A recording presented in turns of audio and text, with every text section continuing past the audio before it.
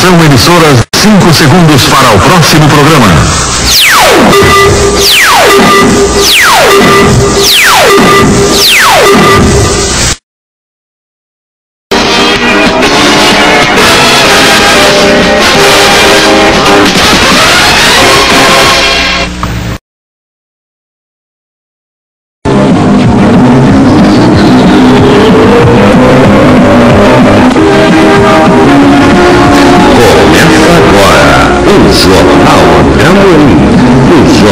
Cheio de notícias até o fim.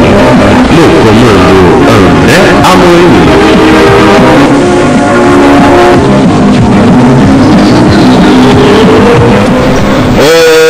Olá, muito bom dia, boa tarde, boa noite. Brasil! Vocês, tudo bem? A partir de agora, Jornal André Amorim, jornal de notícias até o fim, edição 2022 de hoje, sábado 7 de julho de 2012, vamos às manchetes. Delírio Alvinegro, você vai saber a respeito do jogador Sidorf, que chegou ao aeroporto. Chegou aqui. 20 dias de paralisação, é, o governo corta ponto.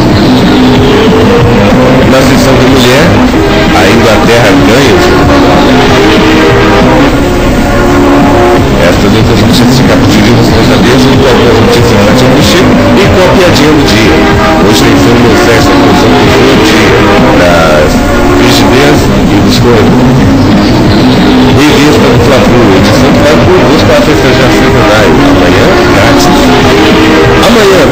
Bônus especial, promoção profunda em seu jornal de dia. Só serve sempre mais uma regra. Jornal ainda Morim, Estas e outras notícias você vai saber logo mais no Jornal André Moritz está no ar pra você.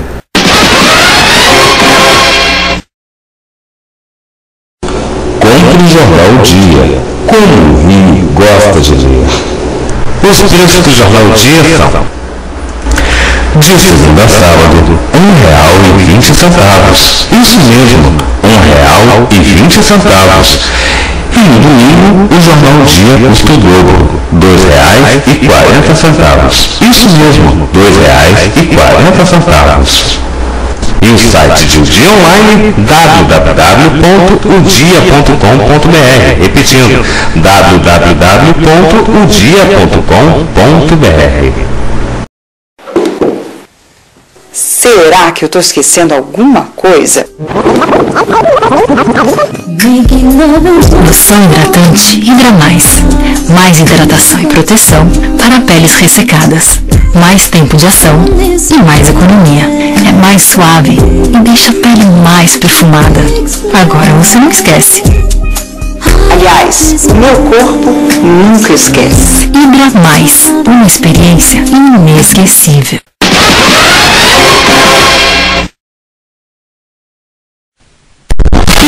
Piadinha. Compadre gay. Era bem cedinho e seu tio resolveu visitar o compadre no sítio vizinho. Quando chegou lá, viu que tudo estava muito quieto, chamou, mas ninguém respondeu. Tio então resol- resolveu entrar na casa, pois a porta estava só encostada. Foi em silêncio até o quarto do compadre para ver se estava tudo bem. Quando passou pelo corredor, viu que a porta do banheiro estava entreaberta e flagrou seu compadre na, na, na maior masturbação. Estava até então gemendo. Tava até.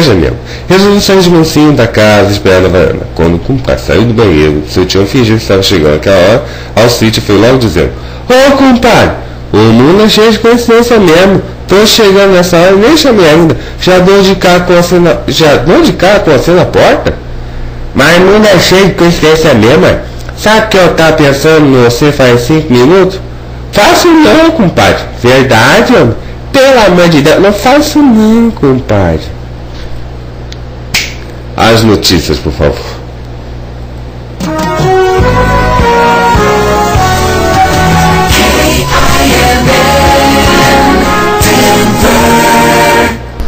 Jornal André Amorim.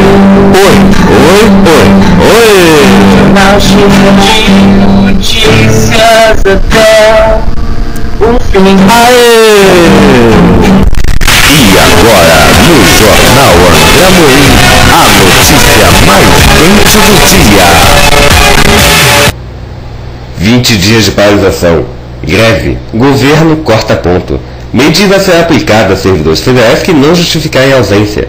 Negociações continuam. E 31 de agosto é o limite para o Planalto enviar ao Congresso o projeto de orçamento, incluindo o ajuste. Sindicalistas ameaçam ampliar movimento. Detalhes na página 19 do seu Jornal Dia. Na página 20, na seção Economia, idoso vai estacionar de graça nas vagas do Rio Rotativo. Nas páginas 6 e 7, na seção Rio de Janeiro, incêndio em Copa, força-tarefa para fiscalizar construções antigas na cidade. Na página 10 da seção Rio de Janeiro, radar contra a bala perdida chega a Tijuca em duas semanas. Na seção de mulher, a Inglaterra ganha o jogo da moda. Às vésperas da Olimpíada, a terra dos Beatles inspira estilistas e looks com toque ok. Ainda de mulher, Marcos Caruso em Dias de Leleco pega jacaré no Leblon. Na seção ataque, Deli Alvinegro. A torcida do Botafogo lotou o aeroporto Galeão Tom Jubim, lá na Ilha do Governador, para receber Sidorf, maior reforço para o brasileiro. O jogador que ficou emocionado vai hoje ao Engenhão ver o jogo contra o Bahia. Aliás, Sidorf, que é, ou Sidorf, que é casado com uma brasileira e tem filhos. É. E a, e a esposa é torcedora do Botafogo, por incrível que pareça. É. E agora, as notícias do site O Fuxico. Confirmado. Pedro Leonardo deixa o hospital segunda-feira. O cantor sairá do Ciro Libanês às duas da tarde, acompanhado pelo pai, o cantor Leonardo. Boa notícia! Depois de passar dois meses e meio internado, Pedro Leonardo deixará o Hospital Ciro Libanês na região central de São Paulo na próxima segunda-feira, dia 9. Está mesmo confirmado. O Pedro sai do hospital na próxima segunda-feira às duas horas da tarde. Quem vai buscá-lo será o pai e os dois sairão juntos, explica a assessora Ed Cury ao. Pedro sofreu um grave acidente de carro na manhã do dia 20 de abril, quando voltava de um show em Uberlândia e ia para sua casa em Goiânia. Cansado, o rapaz adormeceu ao volante, perdeu o controle do carro e capotou. O cantor passou por momentos bem complicados. Passou por uma cirurgia para conter hemorragia, sofreu uma parada cardíaca, foi transferido de Goiânia para São Paulo, passou por uma traqueotomia e ficou em coma por um mês. Depois de acordar, Pedro ainda passou por uma cirurgia na perna para corrigir uma fratura. Segundo a assessoria, Pedro passou muito bem os últimos dias e até comemorou o título do Corinthians na Copa Libertadores da América na quarta-feira, dia 4. Ele está ótimo, como corintiano roxo assistiu ao jogo na quarta-feira, acompanhado pela mãe e pela esposa no seu quarto no Sírio Libanês. Ficou feliz demais com a conquista do seu time e comemorou bastante, disse Ed. Apesar de confirmar a saída de Pedro para a próxima segunda-feira, a assessoria informa que o local para o qual o cantor será levado não será divulgado, para que ele possa descansar sossegado e aos poucos retomar sua vida normalmente.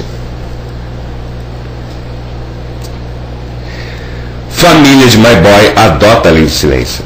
O ex-sonoplasta da Globo permanece em coma induzido. Os familiares de Moacir Filgueira Pinto, popularmente conhecido como My Boy, preferem não falar sobre o estado de saúde do ex-sonoplasta da Globo, que tentou suicídio na semana passada e permanece internado no Centro de Tratamento Intensivo do Hospital Rio Mar, na Barra da Tijuca, na zona oeste do Rio de Janeiro. A reportagem de Fuxico tentou várias vezes um contato telefônico através de números diferentes familiares, sem sucesso, nesta sexta, ontem, sexta-feira, dia 6. Pessoas que trabalharam com ele na Globo também preferem se calar. Em seu trabalho mais recente na produtora Dream Music, onde ele participou da gravação do CD Gospel de Perla, também impera o silêncio. Talvez por todos preferiram manter a imagem de My Boy, conhecido por ser um profissional alegre e competente. My Boy tomou o veneno popularmente chamado de chumbinho e deixou uma carta culpando a TV Globo por seu ato, já que ele estava de licença há alguns anos por problemas de saúde. Em seu perfil no Facebook, Moacir mostra bastante determinação e vontade de viver, contrariando a, a carta que deixou antes de tentar colocar fim à vida. Confia como ele se autodefine. A vontade de vencer na vida sempre foi muito grande, e a palavra não sei se existia em seu vocabulário. Tudo que lhe era perguntado dizia que sabia e recorria aos amigos para aprender, para que lhe ensinassem. Nunca deixou de cumprir uma tarefa ou algo para o qual fora contratado. A obstinação fazia parte de sua personalidade. Nunca mediu esforço para realizar seus planos ou correr atrás de seus sonhos. Queria fazer todos os programas que pudessem, bem como os shows, e gostava de desafios. Ah, desafios, foi a mola propulsora de sua vida, escreveu My Boy. Na página, o sonoplasta também relata que abriu a própria empresa, a Fire and Earth Produções Artísticas Limitada, e com ela fazia paralela ao trabalho na Globo, produções de shows, gravações de DVDs e produções de CDs, além de prestar serviços de assessoria de imprensa. My Boy começou a carreira na Rádio Guanabara do Rio de Janeiro como programador. Hoje a Rádio Guanabara é a Rádio Bandeirantes. Na Globo, foram 29 anos desde sua, desde sua chegada na emissora Carioca em 1971, quando trabalhou com Chacrinha. Em 1986 passou a trabalhar com a Xuxa em seus programas diários. Passou ainda pelo Caldeirão do Hulk, Domingão Faustão, Videogame, Criança Esperança, Festival de Verão de Salvador, Som Brasil, Gente Inocente, Amor e Sexo, além dos especiais de Alberto Carlos. My Boy transitou também pela extinta TV Tupi, onde trabalhou com Flávio Cavalcante e J. Silvestre. A Fazenda 5. Gretchen abandona o reality. Cantora toca o sino e pede para sair do confinamento. Em várias ocasiões, Gretchen comentou com Viviane Araújo que queria sair da Fazenda e desistir da disputa pelos 2 milhões de reais. Depois de tantas ameaças, a cantora resolveu fazer isso na madrugada de hoje, sábado, dia 7. A rainha do regulado tocou sino logo no começo da festa da semana, mas ainda aproveitou bastante a balada. Depois disso, a participante se despediu dos companheiros de confinamento com muita emoção. Em seguida, a competidora saiu do programa. Bom, aqui a produção da de A Fazenda está tentando é, tá tentando a Graciane Barbosa para para é, entrar para que ela entre no lugar da Gretchen né? E entra por uma, uma cifra alta, viu? No lugar da Gretchen. Né? Para competir com a Viviane Araújo, que já está lá na fazenda. Né? Rapaz, mas isso deve dar um ibope se a Graciane entrar na terça-feira. E agora, a última do Jornal André A última do Jornal André um jornal cheio de notícias até o fim, a Fazenda. Nicole Baus diz que suspeita estar com doença venérea.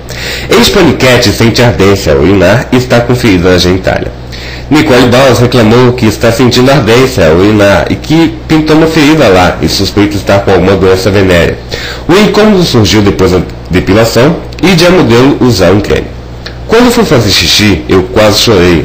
Eu estava pura ferida, mas a noite melhorou sozinho, contou a ex-paniquete em conversa com os peões na madrugada é, nesta sexta-feira, dia 6, quer dizer, de ontem, né?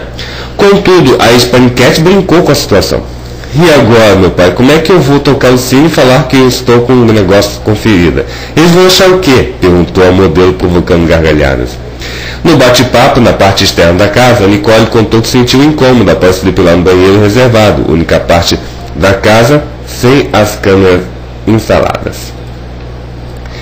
É, a, pior, que a, a pior admitiu que se depilou e foi direto ao quarto para não ficar muito tempo dentro do banheiro e atrapalhar outros peões que estivessem apertados. O grande problema, porém, aconteceria minutos depois. Nicole relatou que após urinar sentiu muita ardência e ficou bastante preocupada. Ela não disse de quem era o creme.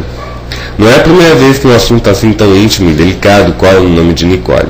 Em fevereiro deste ano, um jornal carioca publicou nota dizendo que um fungo na genitália obrigou a modelo a procurar tratamento para a infecção. A história entrou nos 10 assuntos mais comentados do Twitter. Certo? Agora, só uma opinião. Será que não é Cândida? Que se for Cândida, realmente é melhor tratar mesmo. É melhor tratar com, ou com remédio de, de, de é, remédio é, de homeopatia, ou então remédio de. enfim, né? Ou então outro remédio aí. Ah, tá. Bom, mas enfim, né? Bem, muito obrigado pela companhia e pela audiência. Jornal Memoria, edição 2022 de hoje. Ah, o remédio molecular, sei lá, mas. Edição 2022 de hoje é sábado, dia 20 e. e ou melhor, sábado, dia 7 de junho de 2012.